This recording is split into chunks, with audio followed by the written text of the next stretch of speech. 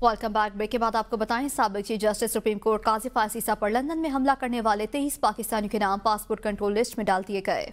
इन तेईस पाकिस्तानियों में तहरीक इंसाफ की, सबक रुकनी कौमी असम्बली, मलिका बुखारी और शाहीन अली के नाम भी शामिल हैं। तमाम पाकिस्तानियों के हवाले के लिए बरतानवी हुकूमत को ख़त भी लिख दिया गया।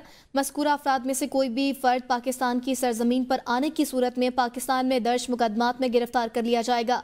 फहरिस्त के मुताबिक लिस्ट में सादिया फ़हीम फ़हीम गुलजार माहीन फैसल, सिदरा तारिक और हिबा अब्दुल मजीद का नाम भी शामिल है। मुस्लिम लीग नून ने ए एन पी की बड़ी विकेट उड़ा दी। सबक सेनेटर जाहिद खान ने अवामी नेशनल पार्टी को खैरबाद कहने का फैसला कर लिया। जराये के मुताबिक जाहिद खान का लोअर दिर अपने हिजरे पर मुनदा एक जलसे में शमूलियत का ऐलान करेंगे। पाकिस्तान की सियासत में एक अहम पेशरफ अवामी नेशनल पार्टी के सबक सेनेटर जाहिद खान ने पाकिस्तान मुस्लिम लीग नून में शमूलियत का फैसला कर लिया है। जाहिद खान अपनी नई सियासी वाबस्तगी का बाबा ऐलान कल वज़ीर अमूर कश्मीर इंजीनियर अमीर मकाम के हमरा एक प्रेस कॉन्फ्रेंस में करेंगे। जाहिद खान की शमूलियत से खैबर पख्तनख्वा में नू लीग के सियासी असर रसूख को मजीद तकवीत मिलेगी। वज़ीर अला खैबर पख्तनख्वा अली अमीन समेत पी टी आई के कुछ रहनमा कॉम्प्रोमाइज हैं। वज़ीर दिफा ख्वाजा आसिफ का दावा, कहते हैं बानी तहरीक इंसाफ को पता है अली अमीन गंडापुर कॉम्प्रोमाइज है। अली अमीन गंडापुर सारा कुछ बानी पीटीआई की मर्ज़ी से कर रहा है। माशी और सियासी सूरत हाल बेहतर हो रही है। हुकूमत अपनी मुद्दत पूरी करेगी। विफाकी वज़ीर एहसन इकबाल ने डोनाल्ड ट्रंप बानी पीटीआई लीडर आज़ाद कराएगी की बात को लतीफ़ा करार दे दिया। एहसन इकबाल का कहना है कि सियासी जमात का कहना कि ट्रंप आएगा तो उनके लीडर को आज़ाद कराएगा, किसी लतीफ़े से कम नहीं। डोनाल्ड ट्रंप का सदर मुंतखब होना अमरीकी आवाम का फैसला था। इसका एहतराम करते हैं, उन्होंने कहा नवाज़ शरीफ की नाहली एक सियासी फैसला था।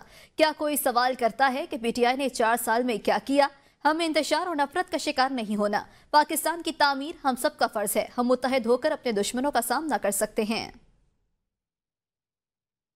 हुकूमत ने कानून साजी करके खुद को एनआरओ दिया। उम्मीद है सुप्रीम कोर्ट नए कवानीन को कलदम करार देगी। बैरिस्टर गौहर कहते हैं, बानी चेयरमैन की रिहाई के लिए पीटीआई किसी बैरून मुल्क की मदद की तलबगार नहीं। बानी पीटीआई के बगैर मुल्क की सियासत अधूरी है। बानी चेयरमैन की रिहाई के लिए सब निकलेंगे।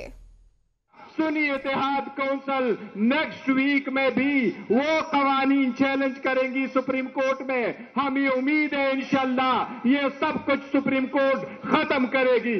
पाकिस्तान के इनशाला अंदर से तब्दीली आएगी।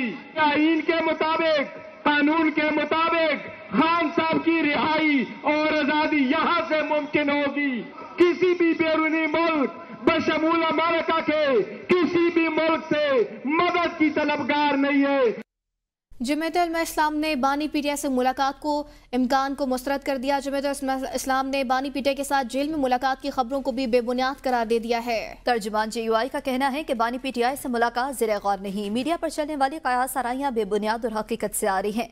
सेनेटर कामरान मुर्तजा को किसी किस्म का कोई टास्क नहीं दिया गया।